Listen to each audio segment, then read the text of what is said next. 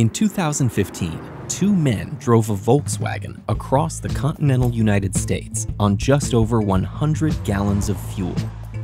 Their 81 mile per gallon performance doubled the car's estimated fuel rating and set the record for the lowest fuel consumption ride of a diesel car.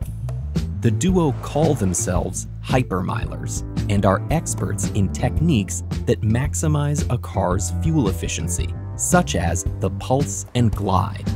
In the pulse, drivers accelerate slowly until they're traveling slightly above their intended speed. They then slowly release the throttle and glide until they're slightly below, and repeat. To understand why this strategy saves fuel, we first need to unpack what exactly is going on beneath a car's hood. Non-electric cars run on internal combustion engines, or ICEs. Cars are often advertised as sporting a 4, 6, or 8-cylinder engine, which refers to this device's main components. Within each of these cylinders is a piston, which moves up and down, spinning a bar known as a crankshaft, effectively converting linear motion into a rotary motion that can drive the wheels. What powers these pistons' movements is what gives these engines their namesake, combustion. As the piston lowers, air and fuel are sprayed into the cylinder's chamber. Then, as the piston rises, this air and fuel mixture is compressed. In gasoline engines, a spark is introduced, igniting the gas. In diesel engines, the compression alone creates a mini explosion. This combustion causes an immediate increase in temperature and pressure, propelling the piston down as it starts the cycle again. The gas pedal controls the amount of air and subsequent fuel released into the chamber. The more fuel in the chamber, the more powerful the combustion, making the crankshaft rotate faster.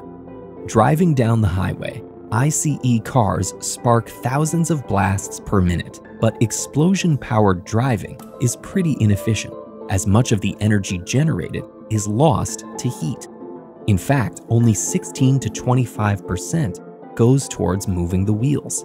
These explosions also create CO2, and ICE engines produce 15% of the total global carbon emissions.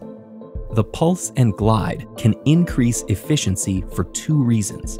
First, when accelerating to higher speeds during the pulse, the engine works at a higher efficiency compared to traveling at a constant lower speed. And second, modern car engines shut off fuel injection, or idle, when decelerating, meaning that as the car glides, the wheels are driven by inertial energy rather than combustion, ultimately saving fuel. But even at their peak performance, ICE hypermilers can't compete with the true champion of fuel efficiency rides, the electric vehicle. Many EVs run on induction motors, which have two main parts, a stator and a rotor. The stator is a series of rings with copper wires wrapped around it. By conducting electricity at variable rates, these wires create a rotating magnetic field. This field induces the rotor with electrical current, causing it to spin and driving the motion of the wheels. For EVs, pressing on the accelerator changes the frequency of current driven into the wires of the stator, in turn increasing the rate at which the rotor spins.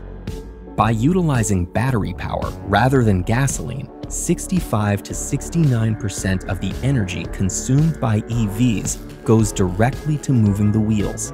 And since EVs don't create explosions, fewer parts are needed below the hood. While a typical ICE vehicle has over 2,000 moving parts to help contain, cool, and maintain combustion, a typical EV has about 20. EVs are completely changing the hypermiling game as drivers compete to travel the farthest on the fewest kilowatt hours. And records will likely only get more impressive as the design of EV motors allows for the introduction of innovative energy-saving devices. For example, most EVs utilize regenerative braking, where energy normally lost to friction is conserved. As the car slows, the electric motor operates in reverse, capturing the vehicle's kinetic energy to recharge the battery. Some companies are even equipping EVs with rooftop solar panels, further increasing their range. Since they don't burn fuel, EVs have zero tailpipe emissions. That's not to say they're always carbon neutral. EVs require regular charging of their batteries, meaning their emission profile is only as clean as the electric utility they plug into. So as global grids continue to shift towards renewable sources, EVs are also becoming greener, making them an even more attractive, hyper-efficient option. But are there steps you could be taking in addition to going electric to reduce emissions? Absolutely. Visit ed.ted.com slash earthschool to learn more about the most impactful actions available to you and your community and watch this video to learn if going solar can save you money.